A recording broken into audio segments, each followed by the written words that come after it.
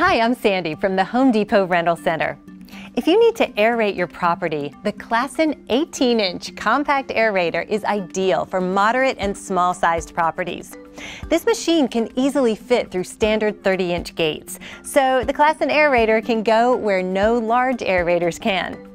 Self-propelled, the compact aerator is easy to use and maneuver. Now, before you get started, as with the safe operation of any power equipment, be sure you're wearing the proper safety gear, including safety glasses, hearing protection, durable work gloves, and work shoes.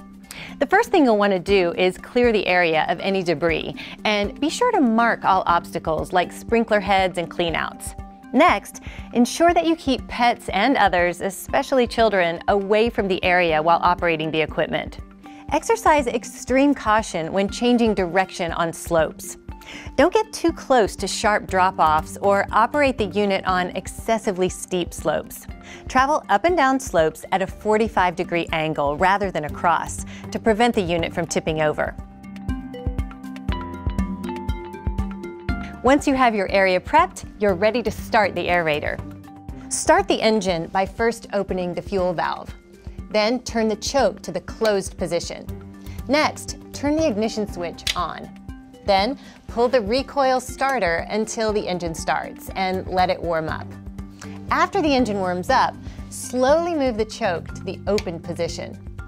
You'll want to allow the engine to run for at least one minute before you start operation. To begin aerating, lower the tines by pushing down on the bottom handle. Adjust the throttle as necessary, and then pull the control handle back towards you to begin. As you aerate and need to change direction, raise the tines, turn the unit, and then lower the tines to continue. For best results, use a crisscross pattern. When you're done aerating, raise the tines, turn the engine off, and close the fuel valve. Now, when you're ready to return the aerator back to the rental center, be sure to clean all debris from the tines. Fold down the handle and secure the unit in your vehicle to prevent damage or injury. Visit your local Home Depot or homedepot.com/rentals to learn more about the best tools for your next project.